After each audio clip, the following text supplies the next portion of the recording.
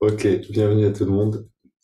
Et euh, de ce que disait justement Swami Kriyananda dans le, dans le texte qu'on vient de voir, euh, dans le, la vidéo qu'on vient de regarder, que vous trouvez dans la description de cette vidéo, euh, c'est le pouvoir transformateur du gourou, le pouvoir transformateur d'un maître spirituel. Et, et, ce pouvoir, on le voit magnifiquement justement dans les vidéos, la vidéo d'Ama qu'on vient de voir avant. Vous avez cette lumière euh, qu'émane Ama en donnant un darshan. Vous avez ces personnes qui se rapprochent d'elle et souvent euh, quelqu'un qui se met à pleurer et on se demande mais qu'est-ce qui se passe? Et en fait, plus on se rapproche d'elle et plus des choses en nous se, se révèlent. C'est comme un révélateur. Et en se révélant, on provoque une transformation. Et cette transformation euh, demande de l'eau. un petit peu comme un baptême intérieur, une purification intérieure. Et par les larmes, il y a des choses qui peuvent se transformer définitivement euh, dans la présence d'un maître. Par le rire aussi, on peut vraiment...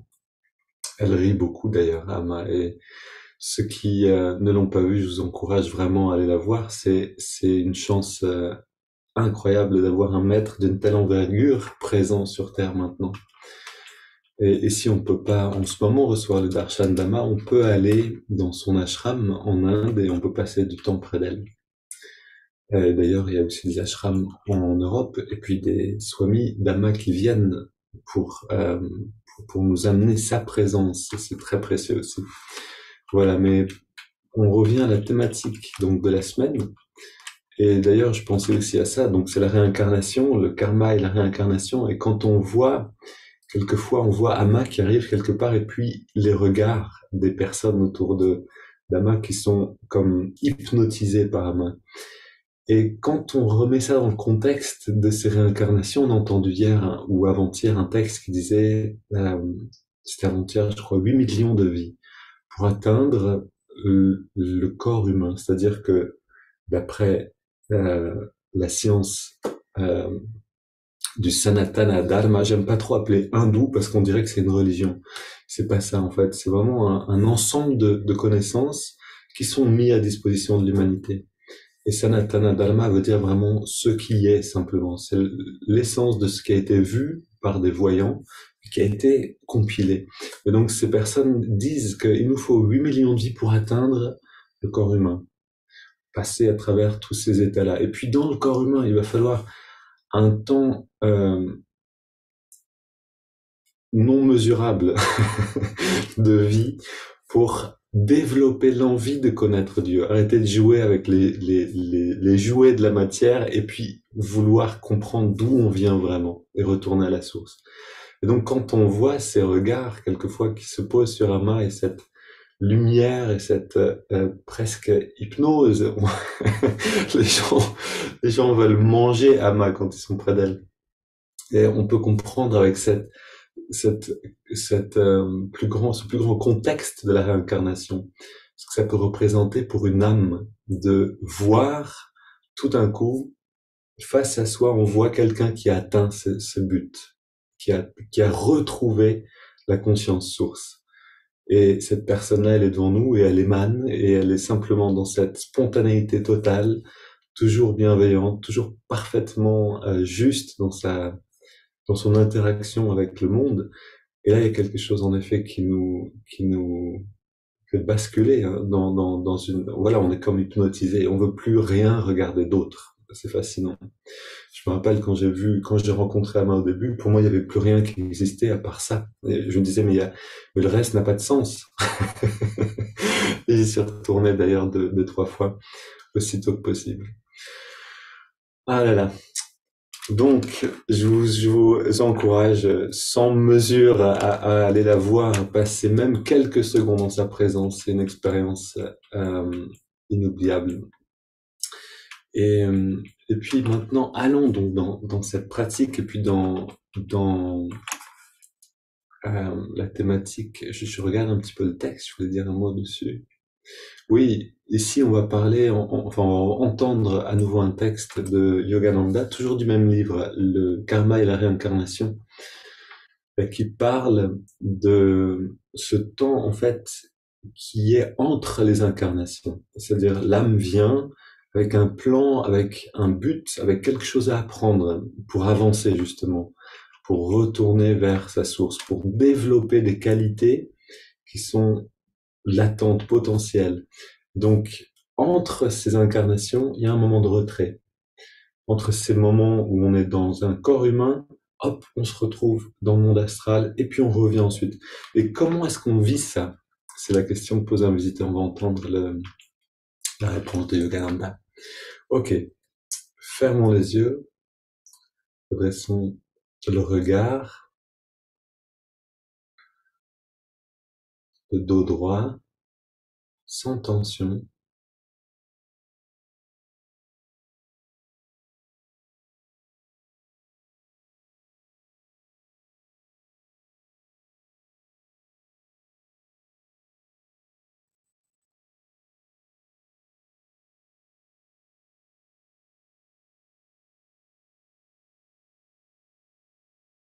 Et on concentre notre attention à la jonction des sourcils. On veut réveiller ce lien avec une conscience plus grande.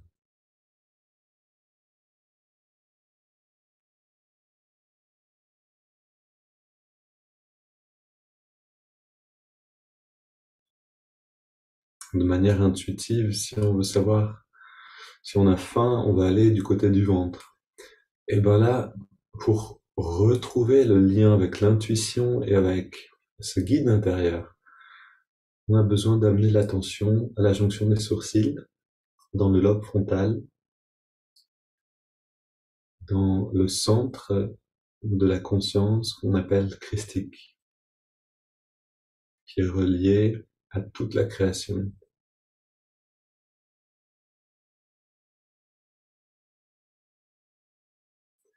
On ressent les battements du cœur et le rythme naturel du corps.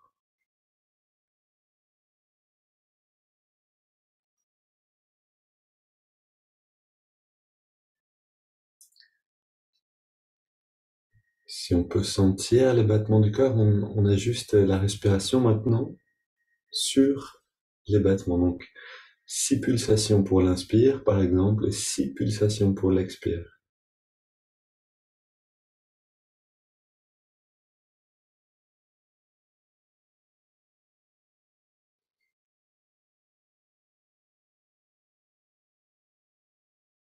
Et finalement, on intègre aussi cette pratique intérieure, donc de la prière continuelle ou de la répétition d'un mantra ou d'une affirmation.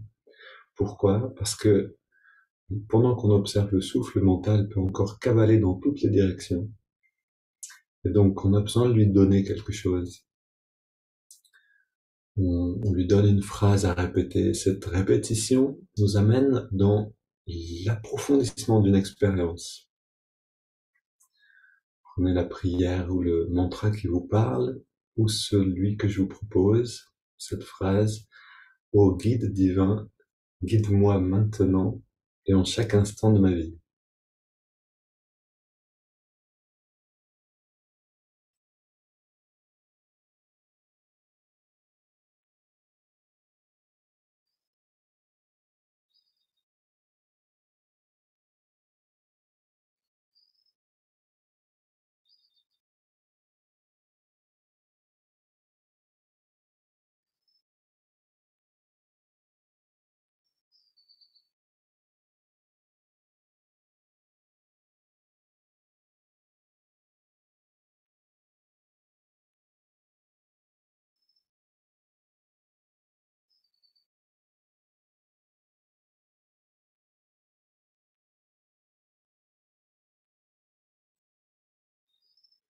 Et pratiquons encore une minute avec cette joie intérieure qui grandit en la ressentant. Comme quand on mange quelque chose qui est délicieux, on se réjouit de le manger. Ici, on se réjouit de tous les aimants, de tous les éléments de cette pratique.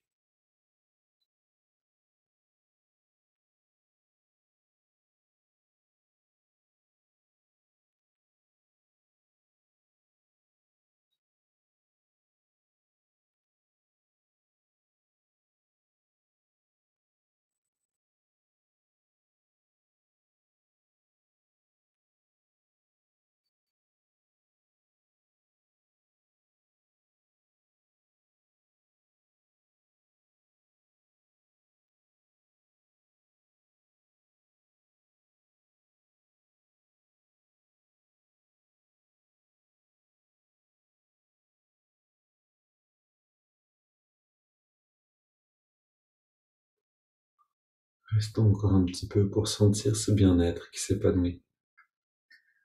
Pour apprendre à manier notre conscience, on a besoin d'engager notre attention dans une direction suffisamment longtemps pour sentir que notre conscience se déplace, que notre euh, attention, que notre qualité de présence change. Pratiquons encore une trentaine de secondes.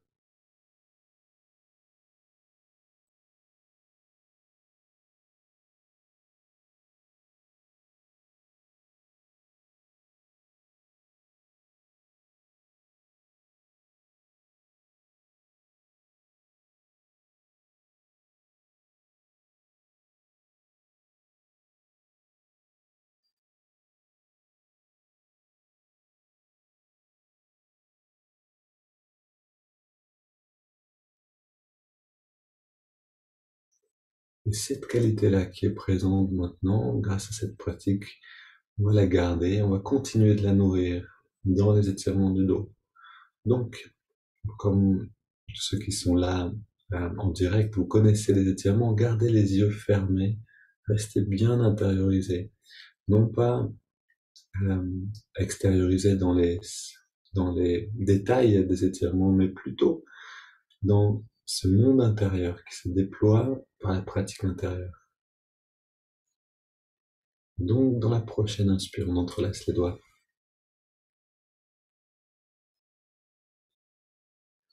Prochaine expiration, on pousse les mains vers l'avant et on arrondit le dos.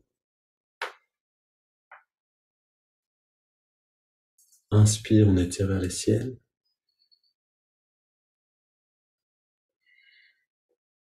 Et expire, on se penche vers la gauche.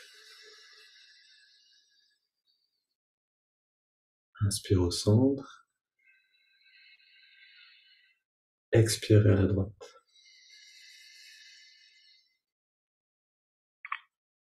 Inspire au centre. Puis expire, on se tourne vers la gauche, on pose les mains, on soutient la rotation et on va le plus loin possible dans cette rotation vers la gauche. On respire trois fois.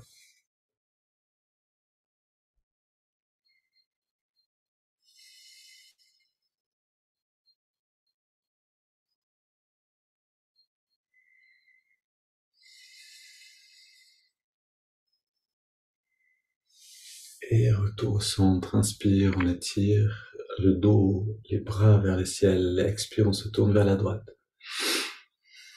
On pose les mains, on soutient la rotation encore une fois. Trois respirations pour plonger dans cette pratique intérieure.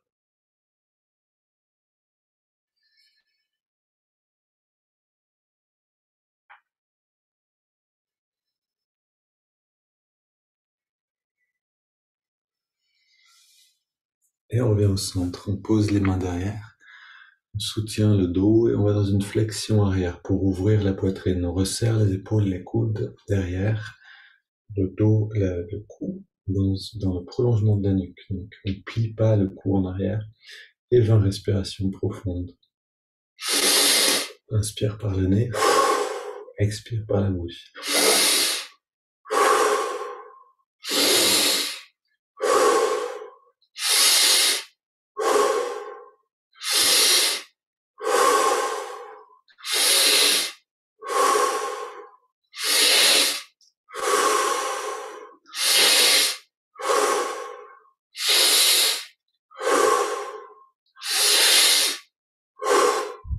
Respiration profonde. Prenons un peu plus d'air.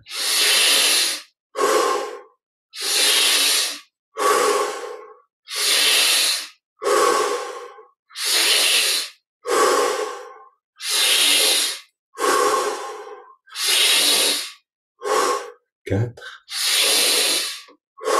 Amplitude maximum. Deux. Dernière. Et on revient au centre. On pose les mains sur les cuisses pour vers le ciel, dos redressé, les yeux fermés. Grande inspire. On garde l'air dedans. On rentre un petit peu le ventre. On se détend surtout. Et on laisse l'air sortir. sans faire aucun effort.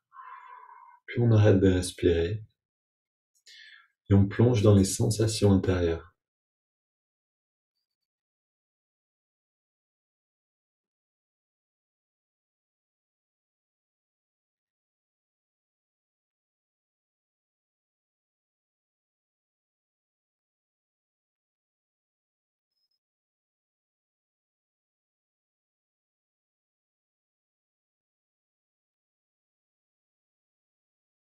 Puis on inspire profondément.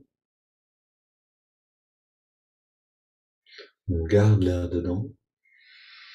On rentre le ventre. Toute la tension dans le lobe frontal. On relâche le ventre et on expire.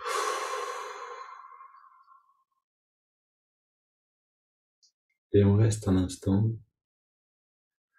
dans cet état-là.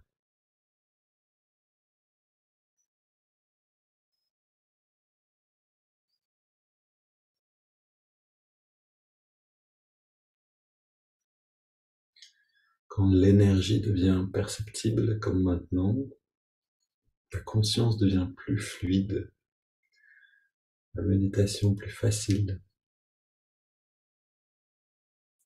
le ressenti plus subtil, plus fin.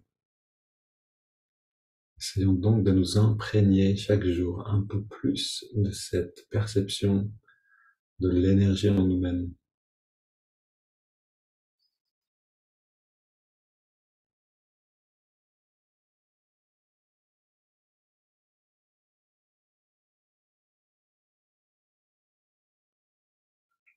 Même sentir notre intuition, c'est-à-dire la présence de ce guide intérieur. Ça devient plus aisé quand on sent l'énergie elle-même.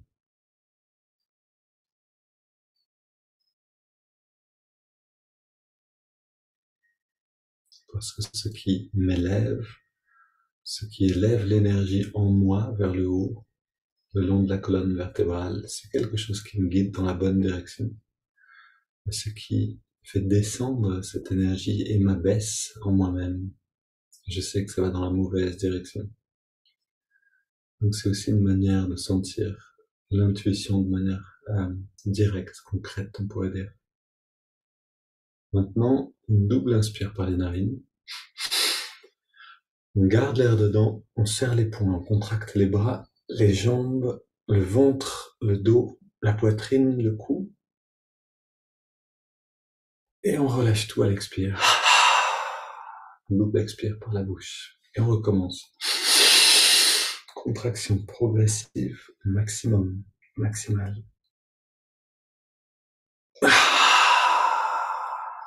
Détente totale. Dernière fois.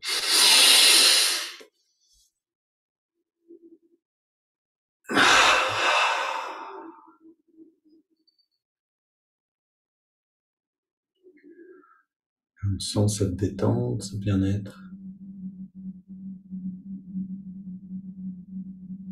Essayez une fois quand vous êtes fatigué, faites quelques contractions détente et voyez ce que ça vous, comment ça change le niveau d'énergie en nous, ça nous réveille. Ça nous détend et ça nous réveille en même temps. Inspire maintenant par les narines, donc sur 5, avec notre pratique intérieure, mantra ou prière continuelle, accompagne chaque phase de la respiration. Poumon plein, on garde l'air dedans.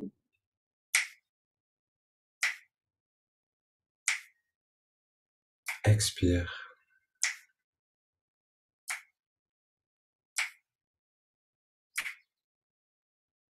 Inspire.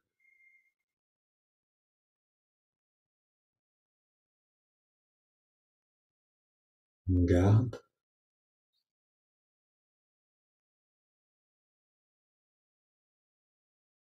Expire.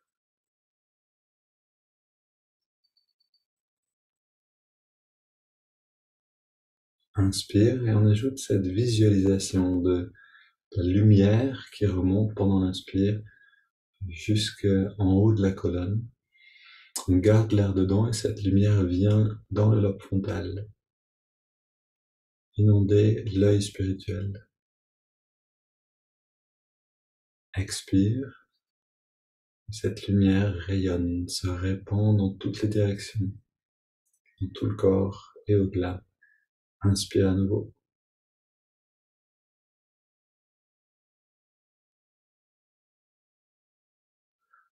Rétention.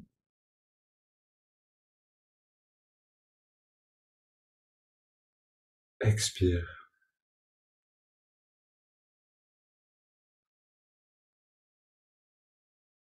Un dernier cycle, inspire.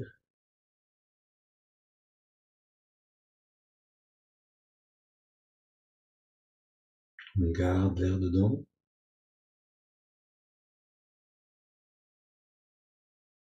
Et expire.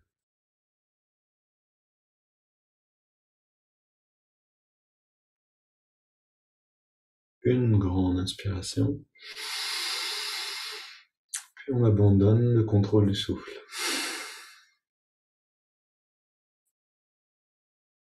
On se détend dans ce bien-être que nous amènent les préparations.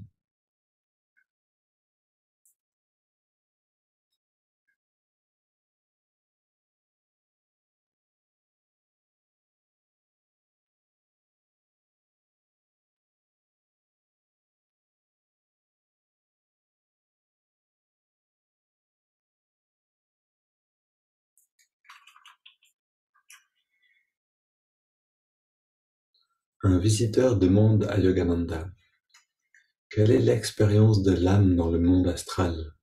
Y reste-t-elle de nombreuses années après avoir quitté le plan physique?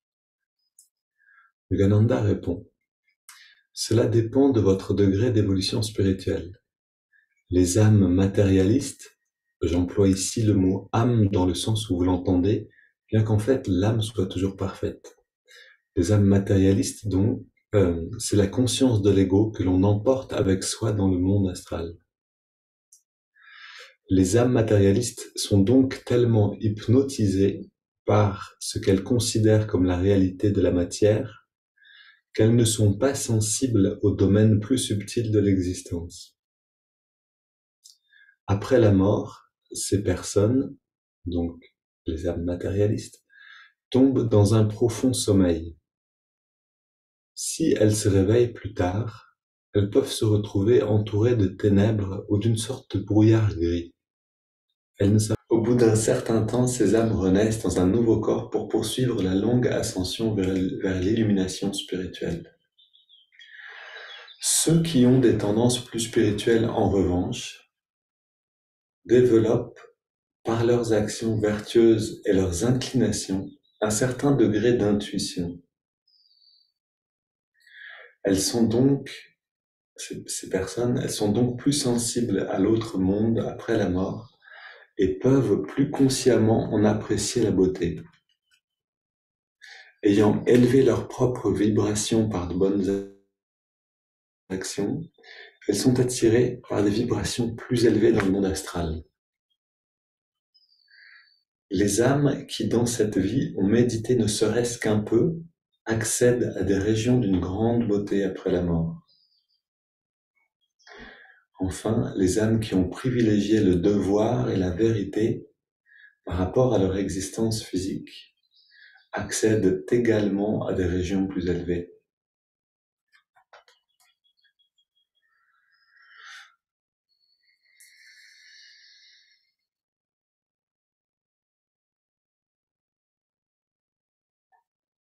Je relis cette dernière phrase qui est pour nous une belle motivation pour la méditation. Les âmes qui dans cette vie ont médité, ne serait-ce qu'un peu, accèdent à des régions d'une grande beauté après la mort.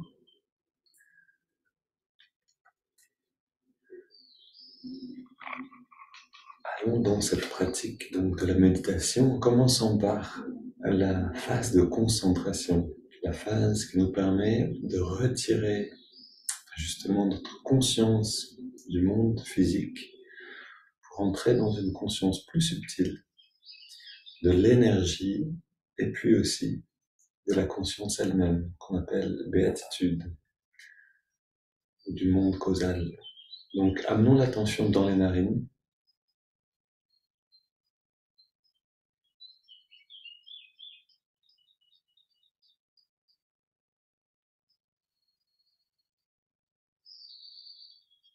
Ressentons la fraîcheur de l'inspire, la tiédeur de l'expire, à l'endroit où on sent l'air mieux.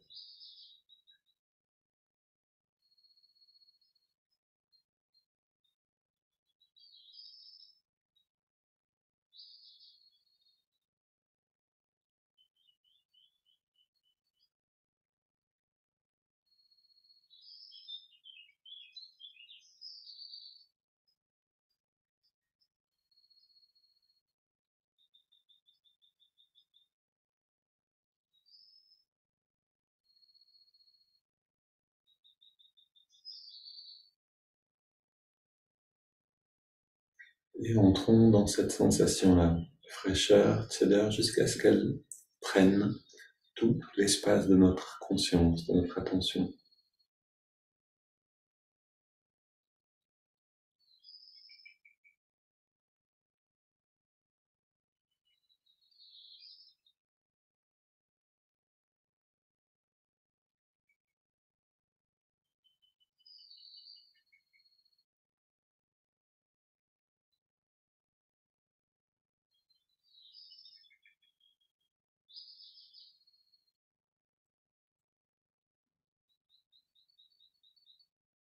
Puis on ajoute le mouvement de l'index de la main droite. À l'inspiration, l'index revient d'un centimètre vers la paume de la main. Et à l'expiration, on relâche l'index et on détend en même temps tous les muscles du corps.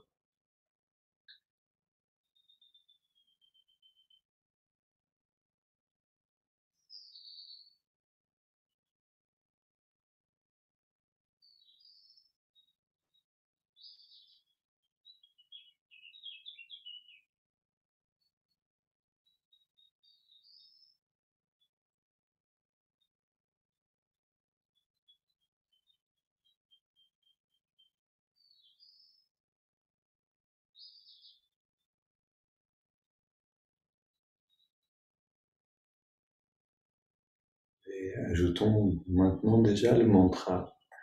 Hong accompagne l'inspiration naturelle et So accompagne l'expiration naturelle. Hong So. Affirmant, je suis cette conscience, ce bien-être qui naît en moi-même par la méditation et qui grandit.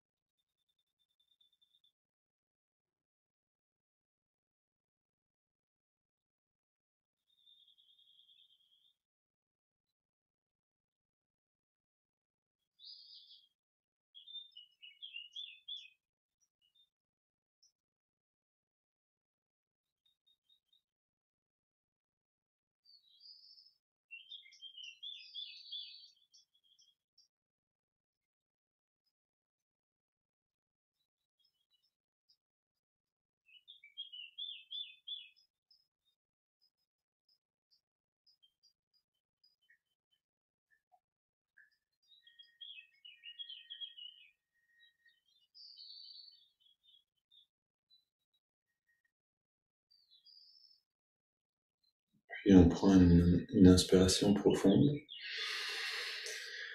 On expire en trois fois. On laisse l'air dehors un instant. Puis on laisse la respiration aller à son rythme.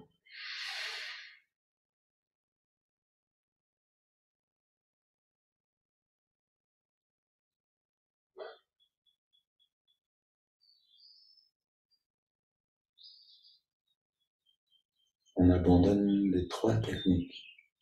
L'observation du souffle, le mantra et le mouvement du doigt. On ressent maintenant cet euh, état de méditation, ce bien-être intérieur qui grandit dans le non-faire, dans l'absence d'effort.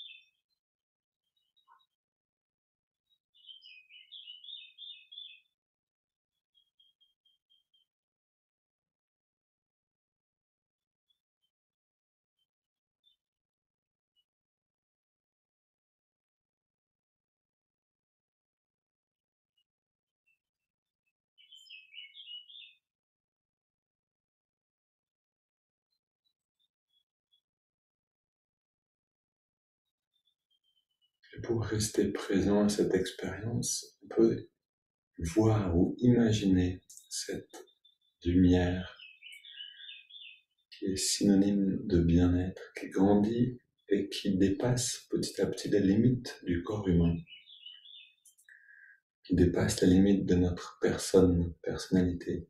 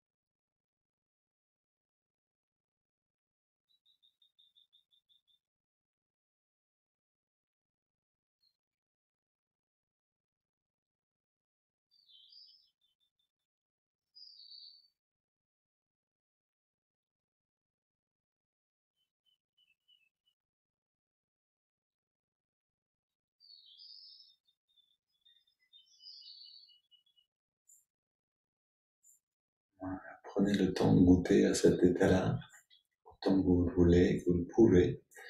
Puis à demain, 8 heures, pour ceux qui veulent continuer avec euh, cette sang sur le karma et la réincarnation. Une belle journée à tous.